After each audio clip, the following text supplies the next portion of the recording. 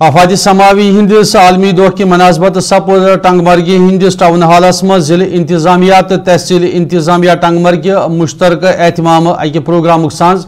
یمیک مقصد عام لوکن مختلف آفاتو نش ین ولس وقتس من تحفظ تو دن تو با اختیار بنوت مفصل زان گاشراون قرار دن آئی ات سلسلس مز منعقد پروگرامس دوران آئی آفات سماوی بنیل ہنگ منگ نار لگن تو واو طوفان وز مختلف تدابیر اپناونس متعلق مفصل زان گاشراون یہ زن یتھن معاملن ہند تدورک باپت پریت کنس پنن زون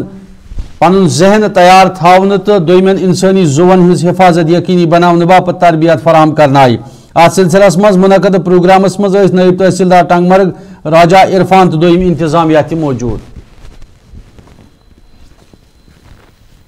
اپنے ڈسٹرکٹ ایڈمنسٹریشن بارہ کی طرف سے اور تحصیل ایڈمنسٹریشن کی طرف سے لوگوں کو اویئر کیا، جیسے ہر سال تھرٹینتھ اکتوبر کو یہ دن منایا جاتا ہے، تو ہم نے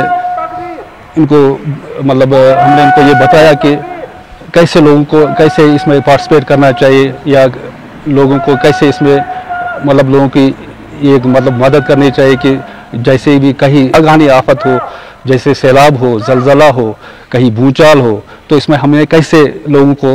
مطلب ہیلپ کرنا چاہیے۔ ان کو بتایا گیا کہ کیسے کسی بھی ڈپارٹمنٹ میں آپ کو کیسے فون کرنا چاہیے، کس کو کیا کرنا چاہیے۔ ہم نے اس میں ایکچولی مطلب ہمارے یہ والنٹیئرس بھی تھے سوسائٹیز کے بندے بھی تھے۔ سب کو بتایا گیا کہ اس میں کیا کرنا ہے، کیا نہیں کرنا ہے۔ ہمیں یہ اویئرنیس ملی جتنے بھی نمبردار علاقے ٹنگ مرگ کے چوکی دار صاحبان اور بھی تھے ادھر تحصیل آفس کے۔ کہ جتنے بھی یعنی یہ جو ڈیزاسٹر مینجمنٹ ڈے تھا، اس کے ساتھ اگر اللہ نہ کرے کسی کسی گاؤں میں جو بھی خدا نہ خاصا کوئی ڈیزاسٹر آئے، تو اس کو کیسے منیمائز کرے؟ منیمائز مینس قدرتی آفت کو کوئی نہیں روک سکتا ہے مگر کتنا منیمائز ہونا چاہیے؟ اسی لیے ہمیں نمبرداروں کو بلایا گیا ہے کہ تاکہ